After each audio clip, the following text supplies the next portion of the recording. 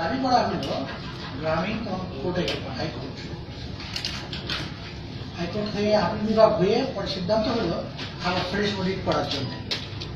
আমরা রিপোর্টের ফার্মকে দিয়ে অডিট করতাম দীর্ঘদিন এসে অডিট শেষ হলো। অডিট শেষ হওয়ার পরে অডিট রিপোর্ট দিল আমাদেরকে যে আমরা গ্রামীণের কাছে এখন বারো হাজার পাঁচশো উনআশি কোটি টাকা পাবো। এর মধ্যে পিটিআসির অংশ হলো আট হাজার চারশো চুরানব্বই কোটি। এনবিআর অংশ হলো চার হাজার পঁচাশি কোটি। এরপরে রবির একটা অডিট হয়েছে, সেটাতে দেখা যাচ্ছে যে রবির পিটিআসির অংশ পায় ছয়শো সাতাত্তর কোটি টাকা এবং এনবিআর পায় একশো উননব্বই কোটি টাকা।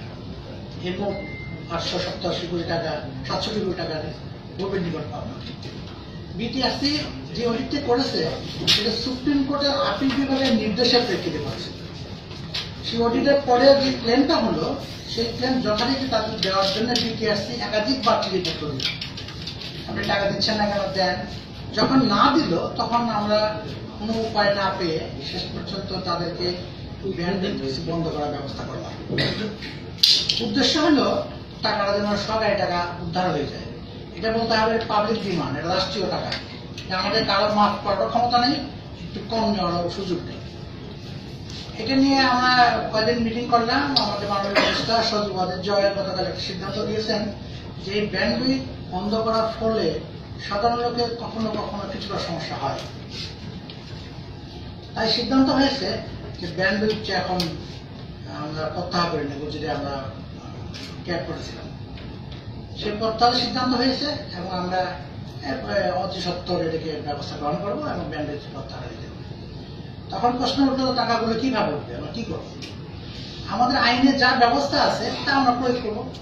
এটুকু সিদ্ধান্ত হয়েছে যে আইনে যেসব ব্যবস্থা আমাদের আইনে আছে সেটা আমরা প্রয়োগ করে টাকা তোলার চেষ্টা করি যেহেতু ওই টাকাটি পাবলিক ডিমান্ড আমাদের কিছু করার নাই। ওনার একটা কথা বলছিল আর্বিট্রেশন করা যায় কিনা?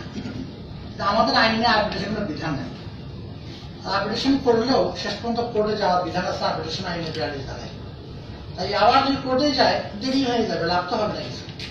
সবচেয়ে বড় কথা বিটিআরসি আইনের বাইরে যেতে পারে না। বিটিআরসি অ্যাক্টে কোনো আর্বিট্রেশনের বিধান নেই।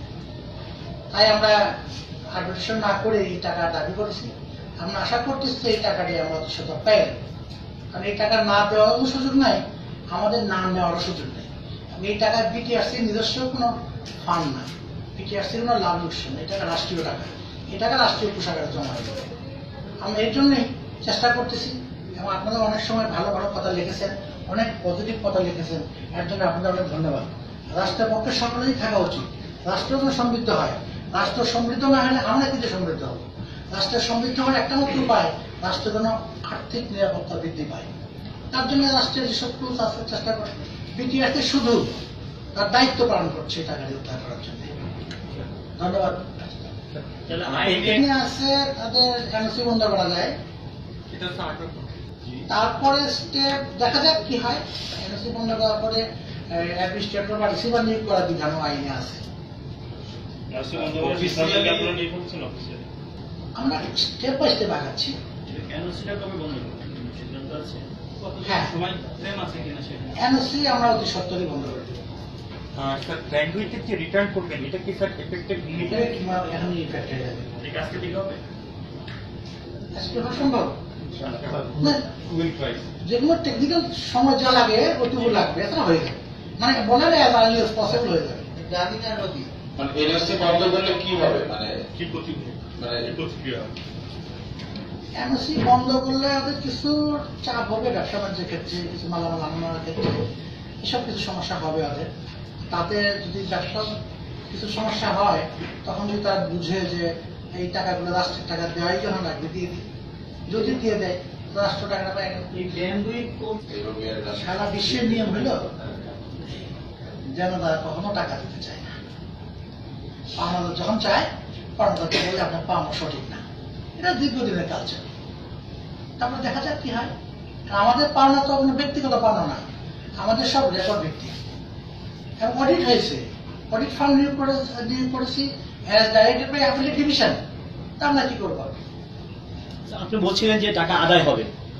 বলছেন যে টাকা আদায় হবে চেষ্টা করছি। সেটা কবে নাগাদ আদায় হবে বা শুরু করবেন কবে না শুরু যখন তখন শুরু হবে। কবে নাগাদ এটা পাবো? কবে নাগাদ পাবো তাই গিয়ে টাইম বলতে পারব। যখন তখনই পাবো। তো দিতেই যাবেন? আপনারা বলছেন যে পাওনাদার যে থিওরি হচ্ছে টাকা না দেওয়ার চেষ্টা। হ্যাঁ এটা তো জানতে চেষ্টা করবি একসময় পারবে না হয়তো তখন দিবে। আমি একটা বিষয় জানতে চাই। প্লিজ আমি কানেকশন থেকে এসেছি আমার নাম কাজ নতুন বিটিএস করার জন্য কিংবা বর্তমান বিটিএস যেগুলো আছে সেগুলোকে মেনটেনেন্স করার জন্য। সেটা তারা ঠিকমতো না করতে পারে তারা ঠিকমতো সার্ভিস প্রোভাইড করতে পারবে না তারা বাধাগ্রস্ত হবে এবং তাদেরকে নেটওয়ার্ক এক্সটেনশন করার থেকে বিরত রাখা হবে। আর একটা কাজ দরকার হয় তারা যেমন নতুন সার্ভিস প্রোভাইড করবে সেই সার্ভিসের প্রত্যেকটা সার্ভিসের জন্য আমাদের এসএস ডিভিশন থেকে পারমিশন নিতে হয়। প্যাকেজ সেটা প্যাকেজ যে প্যাকেজটা জি জি প্রত্যেকটা পারমিশন なるほど。